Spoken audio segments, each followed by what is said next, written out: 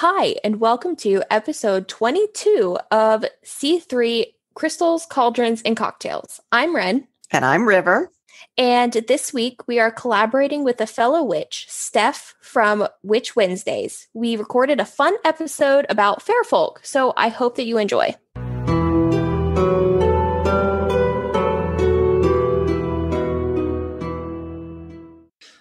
Welcome back to Witch Wednesdays. I'm Steph, and you are listening to episode 88, which is going to be sort of a deep dive on the fair folk. And I have guests here with me today. So I am going to let them take it away to introduce themselves and tell you where you can find them online. Hi, we are C3 Crystals, Cauldrons, and Cocktails. We are a witchy podcast, and you can find us anywhere on any social media platform, really, at C3 Witchy Podcast. And I am River, and she is Wren, because I don't Yes. think we introduced ourselves. No, I did not. I'm Wren Graves.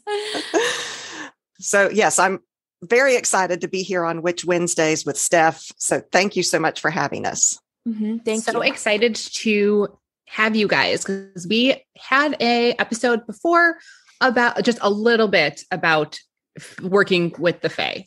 And I think since then, the idea of working with the Fae has sort of blown up and it's become a really popular topic, but also one that's really misunderstood. Mhm. And people see it as uh, one of two ways either that fairies are all like Tinkerbell and that's what you're going to get. And it's just going to be, you know, fairy dust and magic and all good things, or the other way that it's something to be avoided at all costs because it's very dangerous. Right. And it's really in, in between those two things. So I am glad to have you guys here today to just chat a little bit more about what that is, because I think in our intro episode, we really just went over very basic information. Yes. Um, and I think people are still pretty confused about what it even means to be a Fae and what it means to work with them. So I'm glad to get your input on that as well, because I don't work with very many Fae in my practice. I have little brownies in my house, but other than that, it's not something that I personally, you know, do that much in my practice. So I Okay. think it's important to have, you know, the information from a lot of other people to also give their input and opinions on the topic. and I believe if they want to go and listen to that episode of yours, it was episode 29, I believe. Oh, 29. Thank you. You're welcome. So, yes, um, go listen to that. It's just a, a brief introduction. And like like you said, we'll do a deep dive today. Do you want to start with history or um, that yes let's start with history. I think that's really important i do i do try to go um, in other episodes i have you know history of holidays and history of the sabbats and i i think it's important to know where all of these things came from and why like what's the basis of what we believe today so yes history absolutely I, I agree. Wren and I are very into the history of all things witchcraft. It's fascinating to to find out where these things did come from. So I think in your episode 29, you talked about it being an Irish uh, coming from the Irish history or the Celtic history. we did focus on celtic fae history in that episode yes Yes. So I'm showing that in Ireland, it was they one of the early races of conquerors was known as the Tuatha De Danann. And I may not i'm be so impressed with that pronunciation because I I, was- have never been able to say that in my life I'm not sure that that's pronounced correctly, but that's how I've always pronounced it. i think it is and uh, they were considered to be mighty and powerful. And it was believed that when the next wave of invaders arrived, that the Tuatha went underground. yes Yes, and and that yes that is um I, I think when people talk about the fae now we do really revert to that celtic tradition and that when you have that phrase fair folk mhm, um, that is really coming from the celts. And there are fairy traditions all around the world. They sort of developed independently.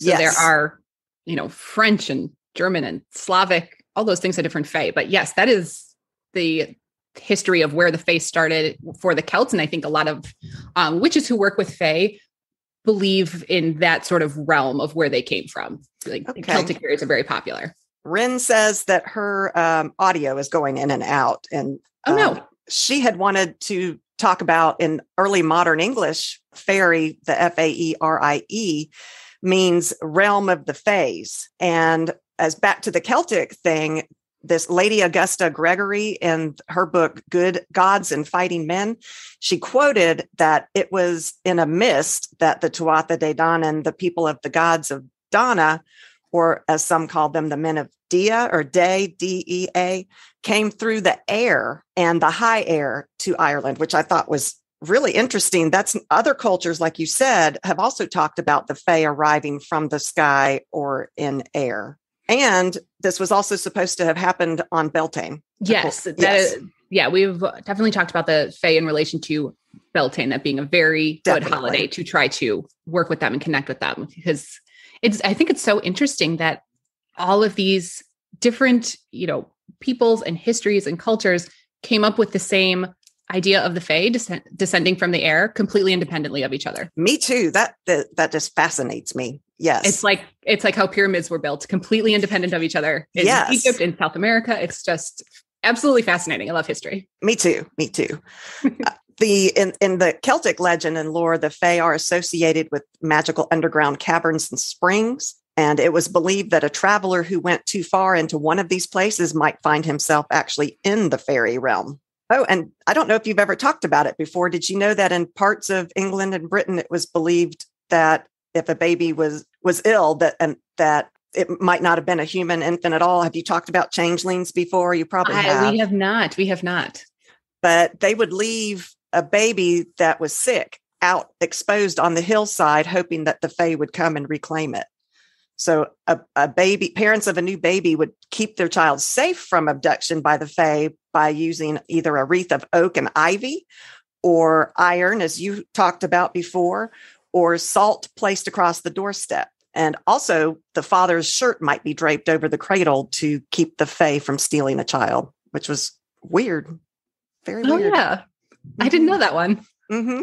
Oh, that is very interesting. What else do you have on on uh, history? Uh, yes. So, in general, in this history of you know where the Fae came from in sort of you know Celtic, Scottish origin, uh, Wales, they kind of all meld together into what we now know as the fairy fae folk especially in america we tend to call all of those you know realm the same thing but they actually are different if you believe in the fully Celtic, Scottish, Wales background, um, fairy, fae folk, and then fair folk and fairy, depending on how it's spelled, mm-hmm. mean refer to completely different things. And for me, it's a little bit confusing to trace. So I am going to have linked. Um, there is someone on YouTube. YouTube. The channel is called Black Dragon Tavern. Okay. And he has a really great description video that I will link because he has all of this information passed down from generations that he has gathered all of this knowledge from his family for and all of that region um, of how the Fae are different depending on which one of those phrases that you use. And it depends Interesting. where they are, um, whether it's in Ireland, whether it's in Scotland. And it's very detailed. So I'm going to link that because I, uh, for me, I never really knew that. I always thought, you know, Celtic, Fae, and Fair right. Fairy mm-hmm. all meant the same thing. But in those traditions there, they do believe them to be just ever so slightly different. Yeah, that's interesting. I, I've, I, I show that in Western Europe, they are fairies, the good folk, the hidden people, or the little people. Whereas in Scandinavia and Germany, they're elves or nixies or kobolds. And in Persian history, they talk about the term Peris, P E R I S, and they apparently took the form of beautiful female spirits, evil for the natural troubles that they caused, like drought and famine and other natural disasters, but kind in their guidance of souls towards paradise. And then the Arabic jinn, like we here in America associate the jinn closely to genies, but and that was a little bit different in the Arabic culture as to what a jinn is, um, but that they are thought to be often invisible spirits that grant the wishes in fairy tales. And in India, the bongas, B O N G A S, are considered are considered considered woo, to be evil fairies. Yes, and there are. I think that's why there is so much know, confusion or mystery surrounding the Fae is because of that idea of evil fairies. Right. And I agree. that that world being so diverse. So I think in in any of these cultures that we've talked about in any of this history, they the Fae is much bigger than what modern pop culture would lead you to believe. Yes. Yes. And a lot of people have the fairy, like F A I R Y, like Mhm. traditional sense of like Tinkerbell is a fairy, and that's what all fairies are. Mhm. And um, that is definitely popularized by Disney, but that is not, there are fae that look like that, Right. but uh, there are a lot of other creatures within the fae realm. I think uh, the fae encompasses gnomes, elves, trolls. There's the little brownies that live in my house. Mhm. um, and a lot of people also consider dragons and mermaids to be of the fae realm rather than mythological creatures. They consider this all fae realm. So there's a wide variety and wide diversity in what kind of fae you could possibly work with. Yes, definitely. And I know that in your episode 29, Tara was talking about how they're tr- tricksters. So it, it can be scary to work with them. Uh, but I think we'll get into later as to how you can maybe work with them. But Wren had come up with some descriptions. Wren, are, is your ha- is your sound back? Um, I think so. It keeps going in and out a bit. Okay. We're happy to hear from you, Wren. So you were going to talk about different variations of how they ha- have been said to look. Mhm. Yeah, it went out a little bit there. But yeah, so their descriptions obviously vary. I find it really interesting, like how different they can all look, but they are generally described as human slash humanoid. And they range in sizes. So I saw that they could be um, as tiny as a thumbtack to the size of a human. And in folklore, they have green eyes and are always barefoot and have wings. And actually, what I found really interesting was the modern day illustrations of them. They often have dragonfly or butterfly wings instead of something different. Huh.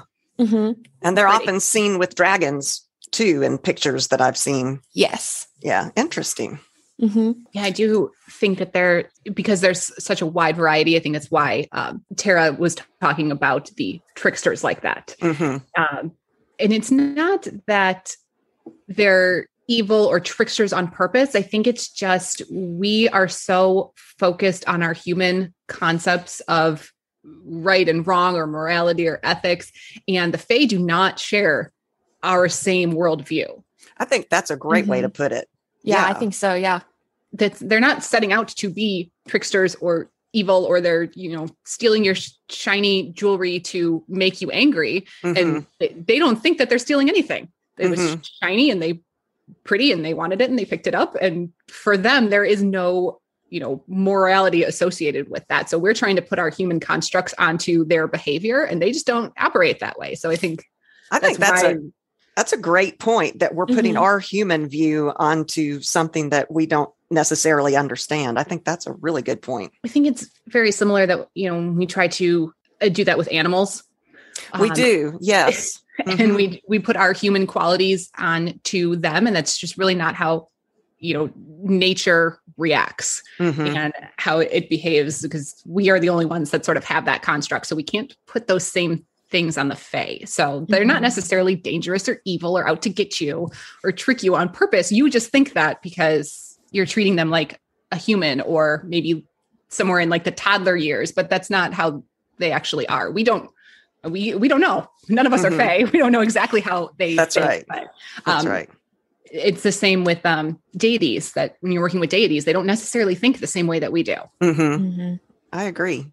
I, I found a little chart, and pa- Pauline Campanelli from Ancient Ways had a little chart of some of the the types of fae. She said fairies and elves, you can find them in forests, the fairy hill, fairy rings, fields, flower gardens, and they like to dance. They can see the future. They know the magical secrets of herbs, stones, and animals. Whereas gnomes, trolls, and dwarves are often found in caves and mines, just like you would imagine, under bridges. They know the location of gems, metals, how to forge them. Brownies and kobolds are found in homes and cottages. They help protect the family. They do ch- chores at night, which you had talked about how your brownies brownies do that. Yes, they do. Mm-hmm. So, and they have they've been here longer than me. So they yes. came about. yes. So how do you see them? Do you have any idea on how to actually physically see them? For me, I, there are a lot of it's a different viewpoints on this and a lot of witches that I've talked to who have actually seen Fae. Okay. And have developed their sort of senses to see them even more. And that is not ever something that I was blessed with. Like I have never been able to sort of see anything strange. And that, you know, applies to not just Fae, but to ghosts or any sort of mm-hmm. other sort of strange phenomenon. Um, not one of the senses that I'm great at. So I never physically see anything. A lot of people re- will report, you know, wisps of light and, you know, floating orbs or they some people have actually seen you know what the fairy actually looks like. Hmm. uh, but i never have. I just know that there are brownies in my house based on things being moved or missing or fixed that have not been done by me or my husband and my dog and we're the only ones in here. So somebody mm-hmm. had to do it and it wasn't the three of us. So do you, i know that they're here. do you feel them like I sense them? I do. I can mm-hmm. sense them, especially when I leave out offerings and sort of speak to them directly. The energy just feels a little bit different. It's mm-hmm. suddenly, it's like um, it's a, almost like a cozy feeling. Mm, like okay, yeah. Suddenly, my home because I usually do this at night, and because brownies tend to work overnight, mm-hmm. um, and I'll do this before bed, and like suddenly it just kind of feels like the house settled, like it's like a peaceful like okay we're ready to to you go to bed now and we're going to going to get to work. So it's mm-hmm. kind of this peaceful quiet um, settling down um, cozy feeling of home which is i like it. So i try to you know interact with them more to get that sort of cozy feeling. And i've been doing that more in the last year and they definitely respond to that. So I, I do feel them yes. What what do you leave for them? What kind of offerings? Is it the traditional milk or honey that kind of thing Yes, little little dishes of milk, um, milk usually, but honey I have done, and then little trinkets that I don't mind disappearing. Oh, neat! they do like little tiny shiny things, but I don't want them to like, take my jewelry, so I leave little shiny things that they can take instead. Well, I came up with some, I guess, mythology. I'm not sure if these things really work, but I was trying to find, you know, ways that people can see them because you always hear about getting the sight. And I read that it's believed that a wash of marigold water rubbed around the eyes can give mortals the ability to spot the Fae. It's also believed that if you sit under a full moon in a grove that has trees of ash, oak, and thorn, the Fae will appear. And then, of course, on Beltane, when that veil is thin, nature comes alive and that's when the spirits of nature are most active. So that might be a time that you can try to see them. And then i actually found a recipe which was really cool on uh, witchesofthecraft.com and i can post a link to that. It's an actual spell. It's got rainwater and rose petals lavender flowers all kinds of things in there and it's got a chant that works for this particular witch. But you know I, I don't like you i'm not i don't have that in, innate skill. So I'm not sure that any of those things would help me. But I think it would help to know what you're looking for. You know, they're not all the Tinkerbells, like you said. You know, the mists, the balls of light, like you said, something moving out of the corner of your eye. The the tween times, which is an, another uh, idea of when and how you can see the Fae, is the the time between night and day, like at dawn and dusk, also, midnight, which is between one day and the next, on any solstice or equinox. Uh, Samhain is another time when the veil between the worlds is thin. So I, I thought that all of those were fascinating. I've never tried any of those things. And then I found some things in fiction, like Spiderwick, uh, one of my my oldest loved the Spiderwick series, and in that story, a stone with a natural hole in it could be used to see the Fae. Four yes, leaf hag stones; those are quite popular. Yes, yes, and four leaf clovers are supposed to to give someone the ability to see the Fae. The seventh son of a seventh son, and then I also read having red hair. So oh, that's a good one. I know.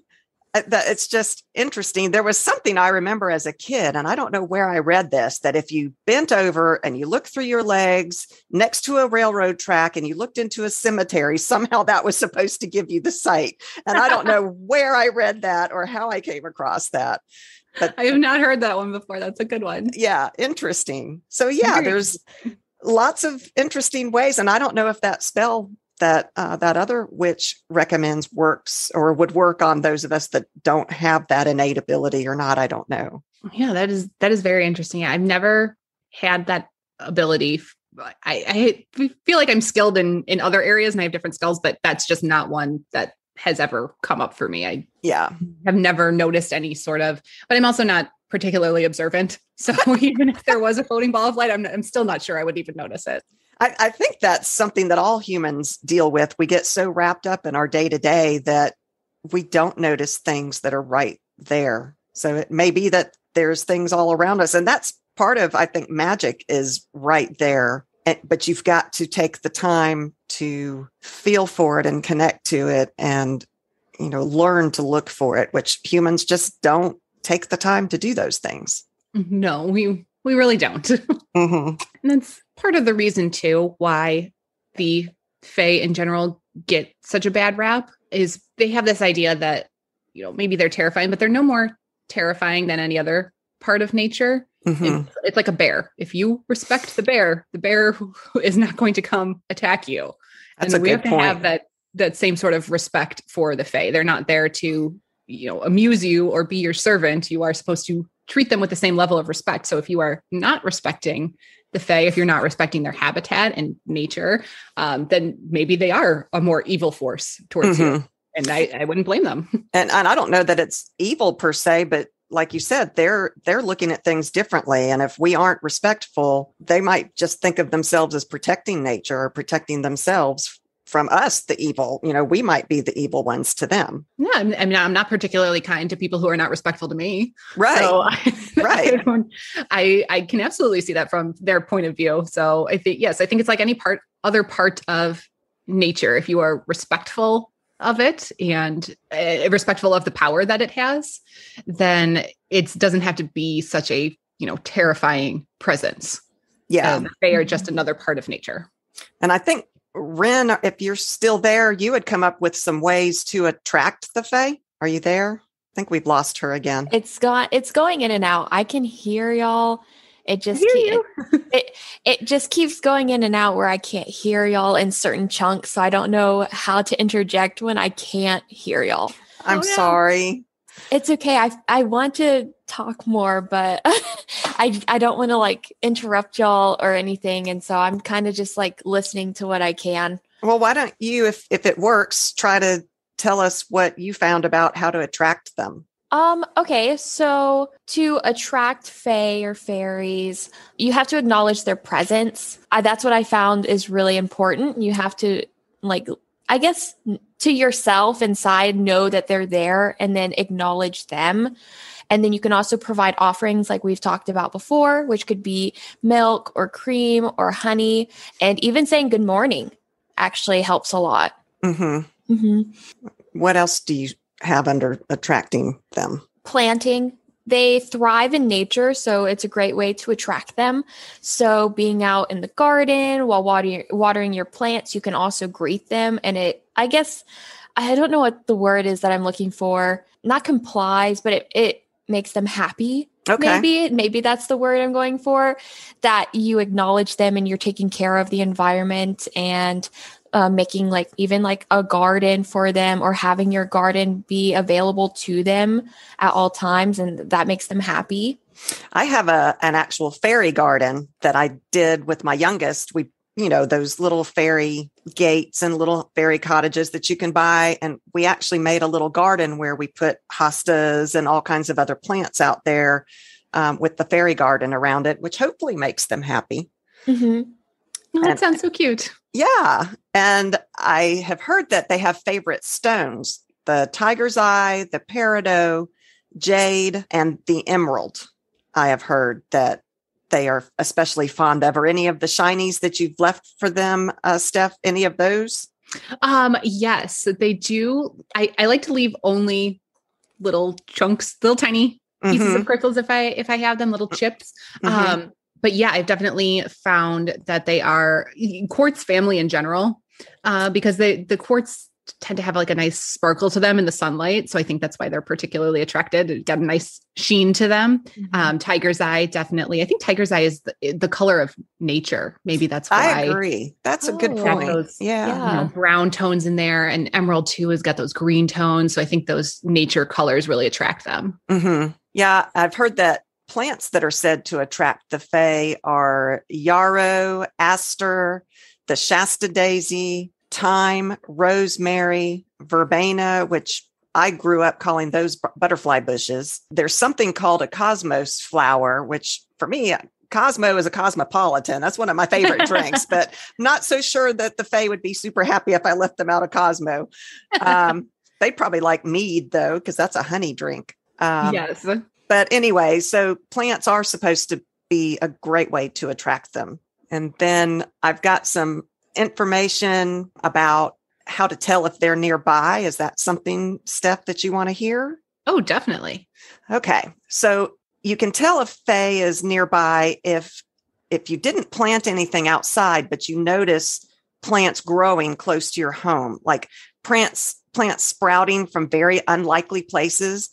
So say you live in a really highly urbanized area that has no space for planting, fairies will sometimes help plants grow in these urban areas to bring nature to places that humans have taken nature away from. Also, like you had said, Steph, small and shiny objects can vanish, little pieces of jewelry.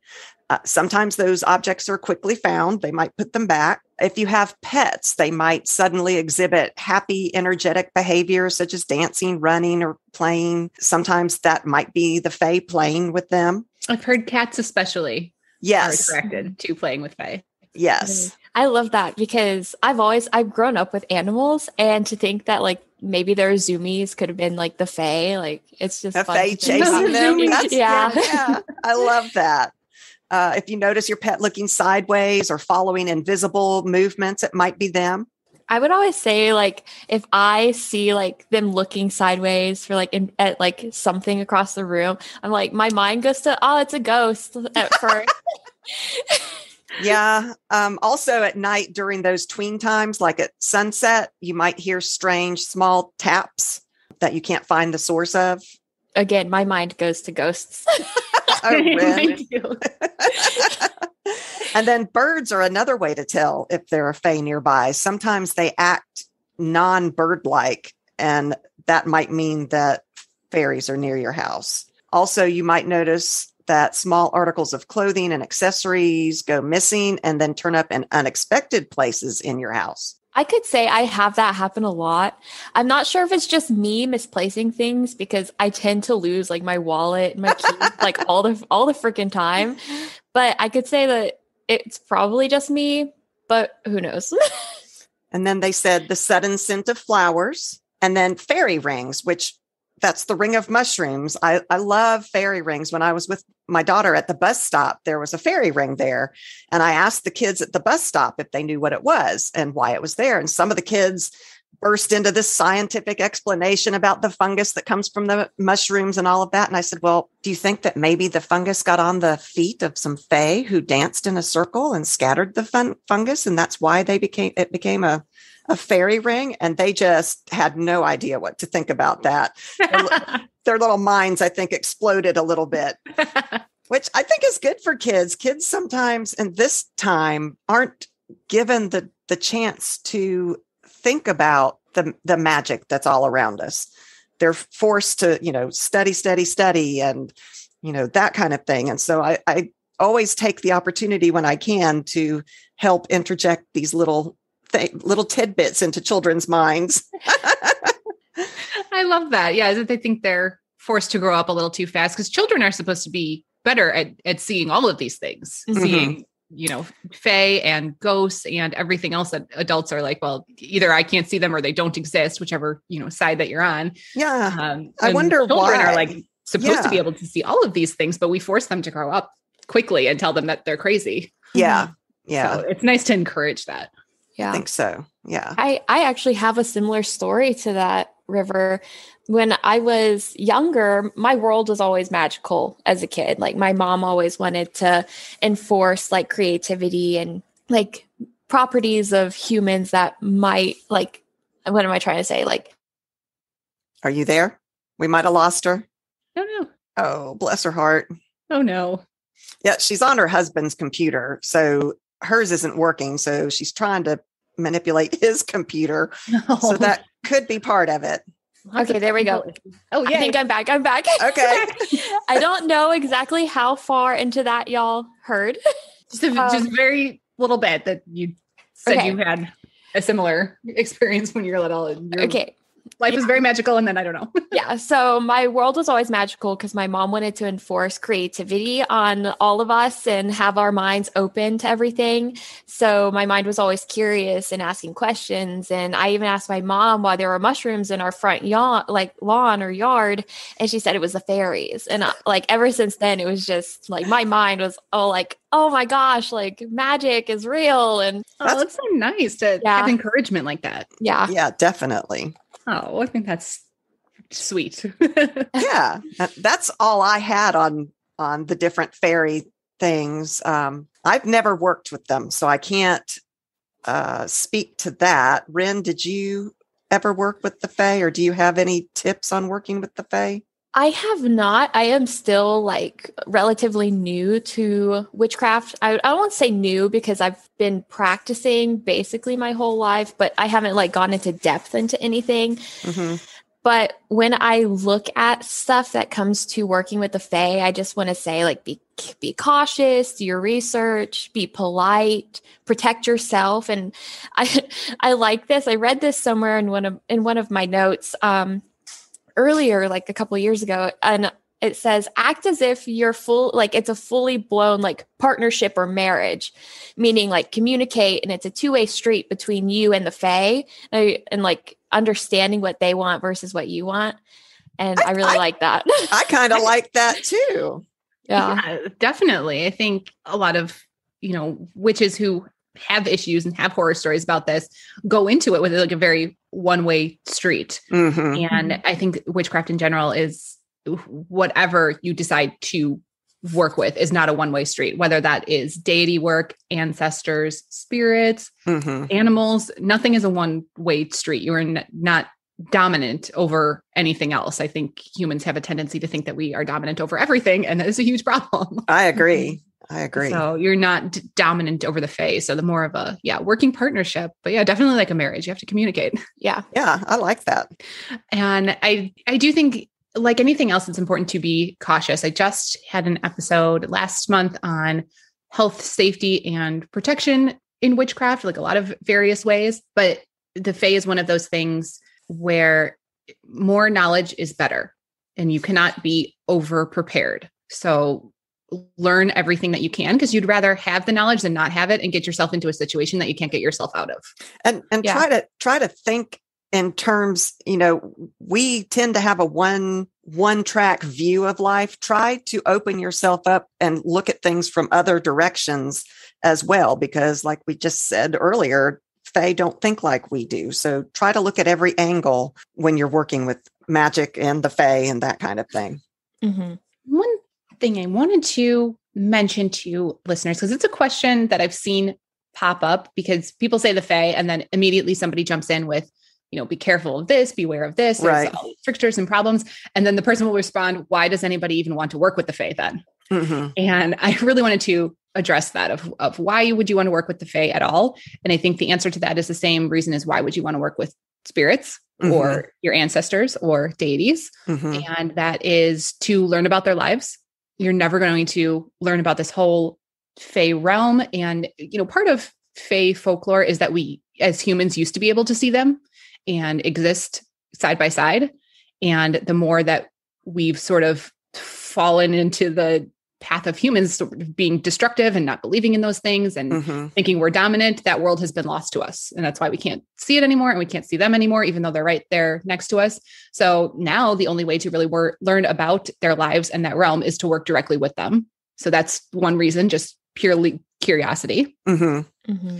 Uh, another reason is for assistance where we can't travel for any kind of spell work. And that is another reason that witches work with familiars and why they work with spirits and ancestors, because there are just some places that we can't go. Right. Um, and they can, and they can assist with with all of those things. Mm-hmm.